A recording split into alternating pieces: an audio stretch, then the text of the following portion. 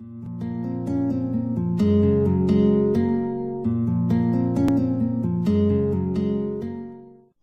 great deal of research was done into this topic by the dentist Dr. Weston Price about a hundred years ago. Dr. Price was a highly respected American dentist and researcher who conducted a lot of research into both root canals and the impact of the Western diet on jaw development and dental disease.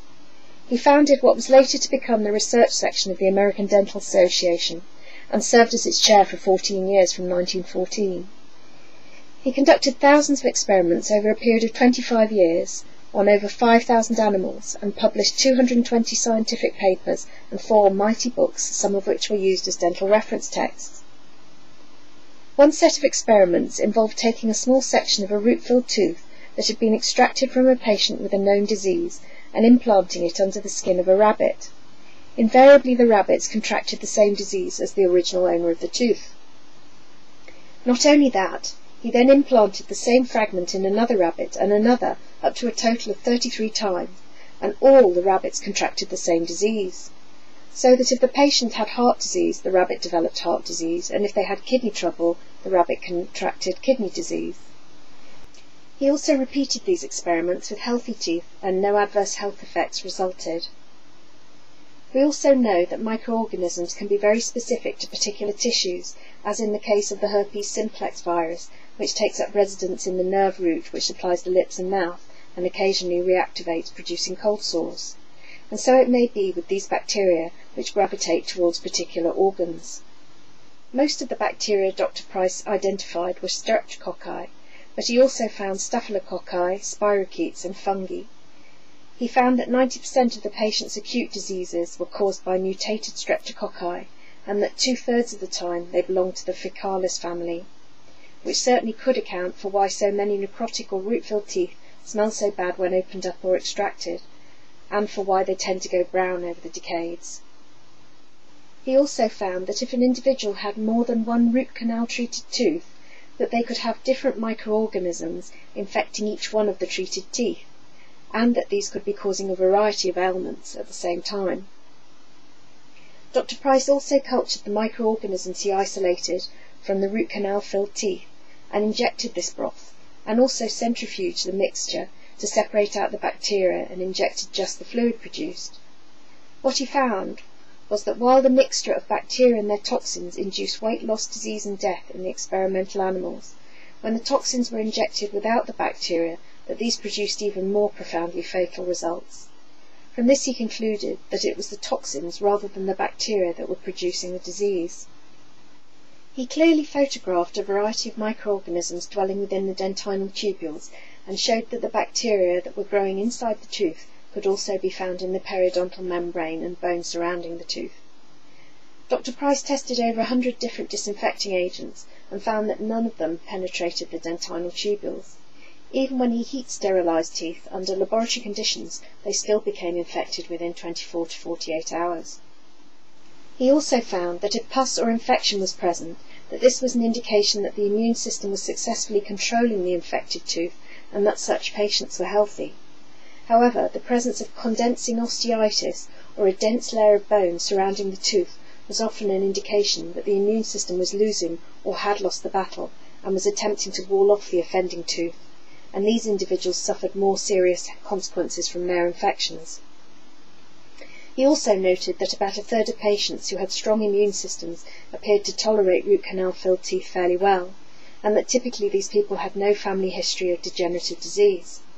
However, even these robust people could succumb to serious illness if exposed to other health challenges such as an accident, infection, pregnancy, or other stress. Finally, he documented many improvements in the health of both humans and animals after extraction of root-filled teeth. Perhaps unsurprisingly, the implications of Dr. Price's research were not popular within the dental profession, and his painstaking research was disregarded, and some maintain that it was actively covered up by a small number of dentists and physicians and the professional bodies they belonged to. His research has subsequently been confirmed by the dentists Dr. Harold Hawkins and Dr. Melvin Page, and the physician and dentist Dr. Emanuel Cheraskin, but it was only to resurface some seventy years later after inquiry by the retired endodontist Dr. George Meinig. The late Dr. George Meinig was an endodontist for 50 years and was a founder member of the American Association of Endodontics in 1943. After he retired, he discovered Weston Price's research and, full of remorse, wrote the book Root Canal Cover Up, which was published in 1993. In it, he estimates that 75% of patients suffer chronic and degenerative illnesses due to their root canal filled teeth. Since then, others such as the dentist Dr. Robert Kulacz and the cardiologist Dr. Thomas Levy have taken up the cause with their book The Roots of Disease, and the dentist Dr. Hal Huggins with Root Canal, Saviour or Suicide. Physicians such as the late German oncologist Dr. Joseph Issels stated that in over 40 years of treating terminal cancer patients that 97% had root-filled teeth. Furthermore, he found that he could not achieve a successful outcome until all the root-treated teeth had been extracted. This has been confirmed more recently by Dr. Thomas Rau, who runs the Paracelsus Clinic in Switzerland. He checked the records of the last 150 breast cancer patients that had been treated at the clinic and found that 98% of them had one or more root-filled teeth, and also that the root fillings were on the same meridian as the original breast cancer tumour.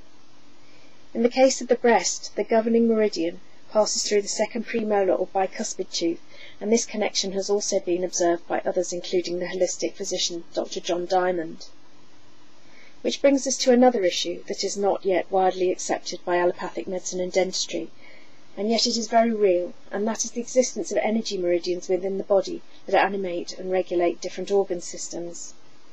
Many of these pass through the teeth, and the retention of a dead body part, let alone one which is spewing bacteria and toxins, can have health consequences for the organs associated with the meridian.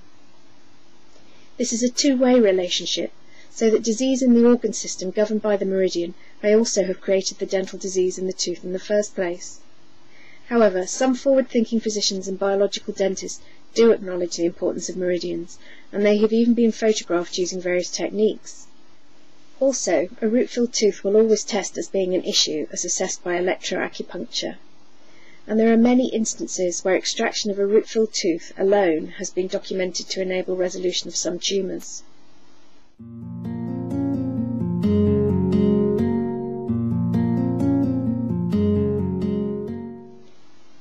Dr. Price's findings have been confirmed more recently using modern techniques. Dr. Boyd Haley, the now retired professor of chemistry at the University of Kentucky, has confirmed that 75% of the root-filled teeth he tested contained high levels of toxins. And Dr. Hal Huggins and his team at the Toxic Element Research Foundation have used DNA analysis to identify dozens of different anaerobic bacterial species taken from root canal samples each tooth tested to at least 10 and some to over 40 species of bacteria. Dr. Huggins has also documented measurable changes in blood chemistry associated with root treatments, including a 58% increase in lymphocytes in humans and animals, a 33% decrease in polymorphonuclear leukocytes, a form of white blood cell, elevations in blood sugar levels, and some patients and all experimental animals lost weight. Conversely, improvements in blood chemistry have also been associated with extraction of root-filled teeth, especially in people with autoimmune diseases. It seems that the combination of retention of a dead body part, compounded by the presence of the bacteria the root-filled tooth harbours and their toxins, enhanced by the presence of toxic metals used in dentistry, may be the origin of many mysterious and autoimmune diseases. Also, the old concept of a particular microbe causing a specific disease may not apply and these syndromes may be caused by an overwhelm of the body's defences by multiple microorganisms and their toxins. There are certainly thousands of documented cases of improvements in health after extraction of root-filled teeth, and possibly many more cases which have gone undocumented. Some holistic dentists are of the opinion that some root canal treated teeth can be tolerated if the immune system of the individual is robust, but others feel that all root-filled teeth should be extracted. X-rays are known to be a poor way of assessing the toxicity of a root-filled tooth, and various methods involving taking saliva samples have recently been developed, although their effectiveness is not known. Before making any decision, make sure that you are fully informed and that you see a biological dentist conversant with the danger of developing cavitations after extraction.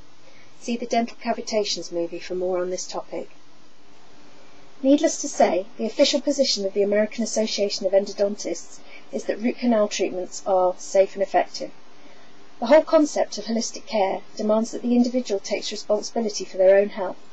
However, because most dentists don't accept the problem posed by root canal treatments, they are not informing their patients of the potential risks, and so they remain in the dark when subsequently confronted by a serious or chronic ailment as to the potential cause.